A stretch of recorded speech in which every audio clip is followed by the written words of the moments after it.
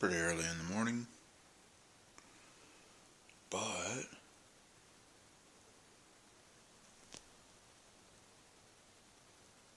I don't know how easily you can tell, but it is just going nuts out there. Huge snow.